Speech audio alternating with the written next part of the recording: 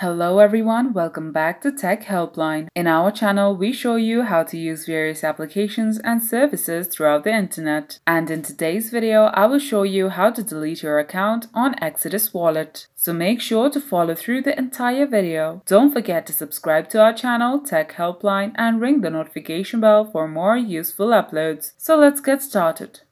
Open Exodus Wallet on your device and log in.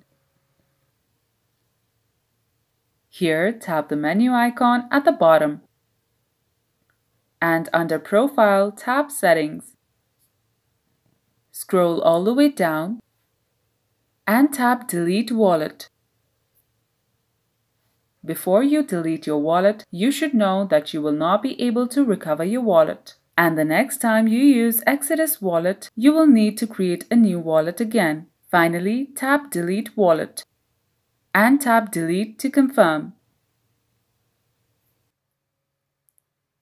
So that's how you delete your account on Exodus Wallet. If the video was helpful, please leave a like and mention your feedback in the comment section below. Thank you for watching and we will see you in the next one.